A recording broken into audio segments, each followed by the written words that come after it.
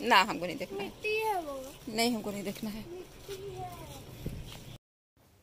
तो आप सभी का फिर से एक बार स्वागत है और ये शाम का ब्लॉग छोटा सा मैंने बनाया है। उम्मीद करती हूँ आप लोगों को पसंद आएगा। अभी शाम का टाइम है, छः बज चुके हैं और हम लोग छत पर आए हैं करीब साढ़े छः में पानी डालने के लिए पौधों में और ईशान बोल रहा है, मम्मी, देखो ये मिट्टी है, हम छू नहीं रहे, क्योंकि वो पहले बोला, मम्मी, ये बिल्ली का पट्टी है। तो हम सोचे, क्यों छू रहे हो? उसको फिर क्यों शरारत कर रहे हो? तो माँ बेटा इसी तरह से पौधे में पानी डाल रहे हैं और साथ में खेल रहे हैं। सुबह में भी काफ़ी देर तक हम लोग एक दूसरे के साथ छत पर धूप में आधे घंटे तक समय बिताए थे और धूप में बच्चों को रखना चाहिए। तो मॉर्निंग में इवनिंग में अभी छुट्टियाँ हैं। तो जितना टाइम हो सके बच्चों के साथ बिताइए। और ईशान बोला, छत पर पानी हम डालेंगे? और ये देखिए, पूरा टी शर्ट गीला कर लिया। तो बच्चा है, इसी तरह से खेलेगा, कूदेगा, मस्ती करेगा। और बच्चों को ना अपने मन से थोड़ा सा इंजॉय करने देना चाहिए, चाहे तो भीगते हुए करे या उछल कूद के मंकी की तरह करे थोड़ा सा खुद से वो इंजॉय करे, है ना? हर समय बंदी से अच्छी नहीं होती। हम बोले, वो डांस अच्छा नहीं लग रहा था थोड़ा सा एक अच्छा वाला डांस दिखाओ। तो ये थोड़ा सा अच्छा वाला डांस करने की कोशिश कर रहा था, जो कि कितना अच्छा है, ये आप लोग कमेंट करके ज़रूर बताइएगा। एक्चुअली बगल में एक बारात जा रही थी तो ढोल नगारे की आवाज़ आ रही थी, उस पर ईशान थिरक रहा है। छत से लौट के आए तो रात के डिनर की तैयारी करने लगे और आज संडे था तो सोचे कुछ मीठा बनाते हैं। तो शाकाहारी इंसान क्या खाएगा, है ना? तो खीर पूरी सोचे बना दे रहे हैं। तो खीर मेरी लगभग बन ही चुकी है। खीर बनने में लगभग एक घंटे का टाइम लग ही जाता है। तो काफ़ी देर से ये चढ़ा हुआ है। बस थोड़ी देर में ये गाढ़ा हो जाएगा तो फिर इसको बंद कर देंगे और तब तक बना लेते हैं। सब्ज़ी सब्ज़ी बना रहे हैं। गोभी और आलू की, गोभी, आलू की सूखी सब्ज़ी बना रहे हैं और कढ़ाई चढ़ा दिए हैं बनाने के लिए। अब देखिए तलने लगे पूड़ी। पूड़ी तलने लगे तो अब खाना भी निकाल दे रहे हैं, थाली तैयार करते हैं और माँ को दे देते हैं, उसके बाद फिर ईशान को भी दे देते हैं। ईशान को देना नहीं होता है, ईशान को खिलाना पड़ता है। नहीं तो वो खीर तो बिल्कुल भी नहीं खाना चाहता है तो सोचे खुद से ही खिला दे ताकि बच्चा हर कुछ खा सके। तो माँ की थाली तैयार है। माँ को देने के बाद ईशान का भी निकाल दे रहे हैं। और गर्मी का दिन है तो आम खाना तो बनता ही है है ना?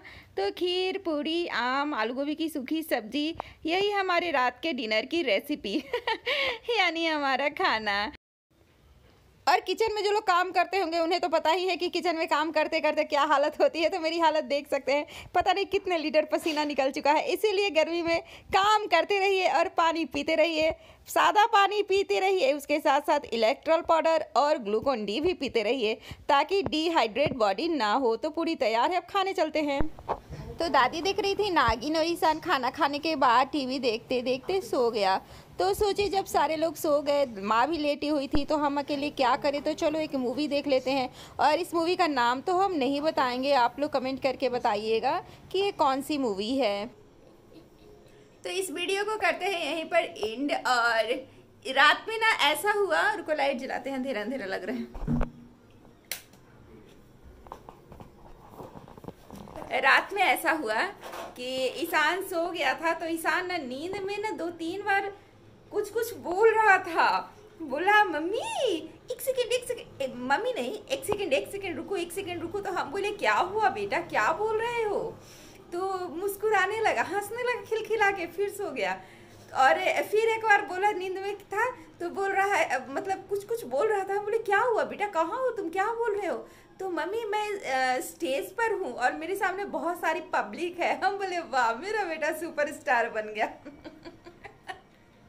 तो हम जगे हुए थे साढ़े बारह पौने एक तक तो देखे बीच बीच में ईशान इस तरह से मतलब बच्चों के सपने भी ना बिल्कुल बच्चों जैसे ही होते हैं।